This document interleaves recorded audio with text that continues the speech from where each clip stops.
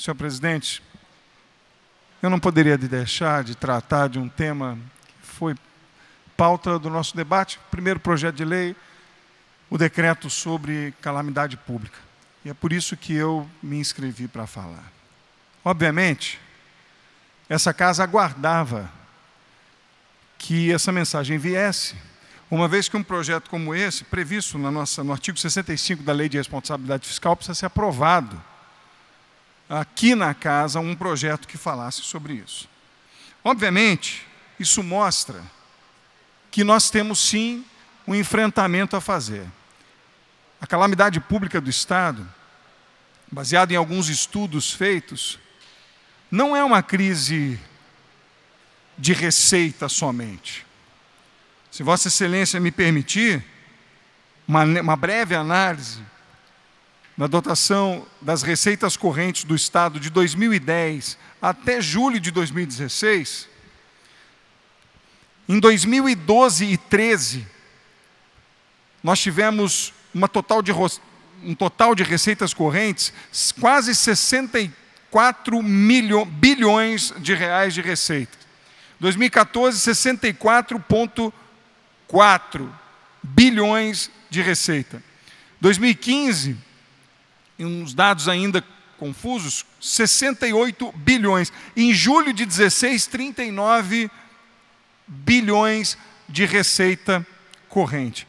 É óbvio que, se analisados os números, uma projeção, nós terminamos o ano em torno de 66 bilhões ou 63 bilhões.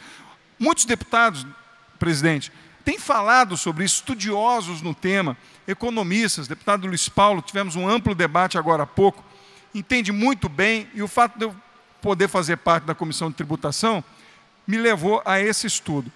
Só que apontado aqui a, as despesas até o, o, fim do ano, nós estamos falando de 80, em torno de 88 bilhões. É uma pena que, por conta do adiantado na hora, eu vou me permitir fazer uma, uma outra fala amanhã ou depois. Mas eu quero dizer, a crise do Estado não é de receita, é de despesa. E mais, a crise do Estado é de prioridade. Ou seja, aquilo, o serviço prioritário que deve ser o atendimento à pessoa humana, o atendimento à criança, ao adolescente em situação de risco, ao idoso, à saúde, às pessoas, essa é a crise do Estado.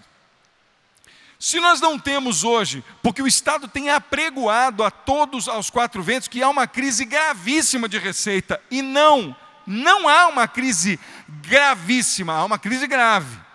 Mas, sobretudo, há uma despesa tão grande que fez com que a receita, mesmo tendo caído por conta da crise do royalty e por conta, de fato, de uma iminente queda na receita, o que se prega é uma queda abrupta e que, na verdade, nós, ter, nós vamos terminar o ano mais ou menos com uma receita semelhante a 2013 e 2014. Então, não é verdade que nós temos uma receita tão deficitária a ponto do Estado dizer que o problema é de receita. Não, o problema é de despesa, de irresponsabilidade no gasto é de irresponsabilidade do trato da coisa pública, e mais, já que a receita caiu e a despesa é enorme, há que se cortar a despesa e se gastar, investir com as prioridades.